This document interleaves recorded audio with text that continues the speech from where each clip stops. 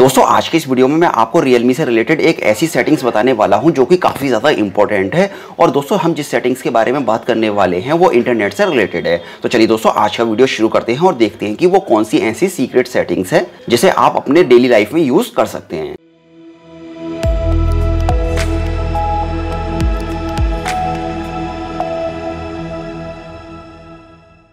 So hello guys मेरा नाम है साजी सैफी और मेरे चैनल टेक्निकल सैफी में आप सभी का तही दिल से वेलकम करता हूँ। दोस्तों, आज की इस वीडियो में हम जिस सीक्रेट सेटिंग के बारे में बात करने वाले हैं, उसके लिए आपको सिंपली करना क्या है? फ़ोन की सेटिंग्स में आना है और फ़ोन की सेटिंग्स में आने के बाद आपको SIM card and mobile data का एक ऑप्शन देखने को मिलेगा। अब आपको करना क्या है? इसको सेलेक्ट करना है और इसको सेलेक्ट करने के बाद आपको नीचे आना है डाटा यूजेस के अंदर।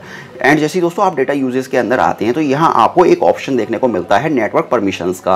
अब दोस्तों आपको करना क्या है? इस पर क्लिक करना है। एंड जैसे दोस्तों आप इस पर क्लिक करते हैं तो क्लिक करने के बाद यहाँ थोड़ी सी लोडिंग होगी। और लोडिंग होने के बाद दोस्तों आपके फ़ोन के अंदर जितनी भी थर्ड पार्टी एप्लीकेशन हैं, या जितनी भी आपके फ़ोन के अंदर एप्लीकेशन वगैरह हैं, उन सभी की लिस्ट आपको देखने को मिल जाएगी। तो चलिए दोस्तों, अब मैं आपको पहले बता देता हूँ कि हम जिस सेटिंग्स के बारे में बात करने वाले हैं, वो क्या है। अब दोस्तों आपको मैं बता दूँ कभी कभी ऐसा होता है कि हम काफ़ी सारी थर्ड पार्टी एप्लीकेशन को अपने फ़ोन के अंदर इंस्टॉल कर लेते हैं और काफ़ी सारे सॉफ्टवेयर ऐसे होते हैं जिनका हम प्रो वर्जन अपने फ़ोन के अंदर इंस्टॉल करते हैं, जो कि क्रैक वर्जन होता है। अब दोस्तों, जो क्रैक वर्जन होते हैं, जब हम अपने फ़ोन के अंदर उनको इंस्टॉल कर लेते हैं तो इंस्टॉल करने के बाद जैसे ही उनको इंटरनेट कनेक्शन मिलता है तो वो हमारे फ़ोन के अंदर डिटेक्ट कर लेते हैं कि ये क्रैक वर्जन है और हमारे फ़ोन के अंदर वो अच्छे से वर्क नहीं करते। तो दोस्तों, हम हमेशा ये चाहते हैं कि जो क्रैक वर्जन हमने अपने फ़ोन के अंदर इंस्टॉल किया है, वो अच्छे से वर्क करता रहे। तो दोस्तों, इसके लिए आपको सिंपली करना क्या होगा कि आपने जिस एप्लीकेशन का भी क्रैक वर्जन अपने फ़ोन के अंदर इंस्टॉल किया है, आपको उसके इंटरनेट कनेक्शन को बैकग्राउंड से बंद करना होगा। जैसे कि फॉर एग्ज़ाम्पल के लिए चलिए हम यहाँ पर एयरटेल की एप्लीकेशन को लेते हैं। और जैसे दोस्तों आप इस पर क्लिक करते हैं तो क्लिक करने के बाद यहाँ आपको चार ऑप्शन देखने को मिलते हैं, जिसमें कि एक वाईफाई एंड मोबाइल डेटा और एक वाईफाई का और एक मोबाइल डाटा और एक डिसेबल नेटवर्क का। तो दोस्तों, अगर आप यहाँ से पहले वाले ऑप्शन को सेलेक्ट करते हैं तो आपकी application WiFi and mobile data का दोनों ही कनेक्शन को यूज़ करके इंटरनेट को एक्सेस कर सकती है। एंड अगर दोस्तों आप सेकंड वाले ऑप्शन को सेलेक्ट करते हैं तो केवल आपकी जो एप्लीकेशन है, वो वाईफाई के कनेक्शन को ही यूज़ करेगी। कहने का मतलब जब आपका फ़ोन जो है वाईफाई से कनेक्ट होगा, तभी वो इंटरनेट को एक्सेस कर सकती है।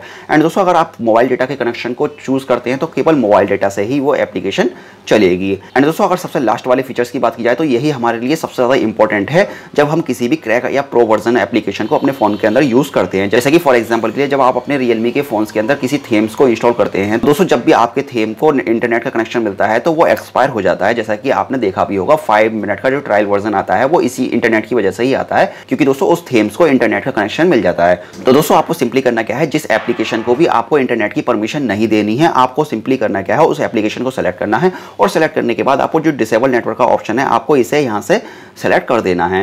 एंड जैसे दोस्तों आप देखें, यहाँ पर जो मेरी एयरटेल की एप्लीकेशन है, वहाँ पर डिसेबल नेटवर्क का एक ऑप्शन मैंने सेलेक्ट कर दिया है और दोस्तों, इस एप्लीकेशन के ऊपर आपको यही शो होगा। अब दोस्तों, अगर मैं एयरटेल की इस एप्लीकेशन को यूज़ करता हूँ तो मेरे फ़ोन के अंदर ये एप्लीकेशन अच्छे से नहीं चलेगी, क्योंकि इसको इंटरनेट कनेक्शन नहीं मिलेगा, ना ही ये वाईफाई से चलेगी और ना ही ये मोबाइल डेटा से चलेगी। तो दोस्तों, इन सभी सेटिंग्स का आप अपनी मर्ज़ी से और अपनी ज़रूरत के हिसाब से काफ़ी अच्छे से यूज़ कर सकते हैं और ये काफ़ी अच्छी सेटिंग्स है और ये काफ़ी ज़्यादा यूज़ होती है काफ़ी सारे कंडीशन में। तो खैर दोस्तों, आप मुझे कमेंट करके बताइए कि आपको ये वीडियो कैसा लगा और आपको ये सेटिंग्स कैसी लगी। क्या दोस्तों, आपको लगता है कि आप इस सेटिंग्स को कभी यूज़ करेंगे या नहीं करेंगे? ये सारी बातें आप मुझे कमेंट करके बता सकते हैं। तो खैर दोस्तों, फ़िलहाल इस वीडियो में सिर्फ़ इतना ही था और मुझे उम्मीद है कि आपको ये वीडियो पसंद आया होगा। अगर आपको ये वीडियो पसंद आया है तो प्लीज़ आप इस वीडियो को लाइक कीजिए शेयर कीजिए और साथ ही साथ चैनल को सब्सक्राइब करना। बिल्कुल ना भूलें तो चलिए फ़िलहाल इस वीडियो को फिनिश करते हैं और मिलते हैं ऐसी एक और मज़ेदार वीडियो के साथ।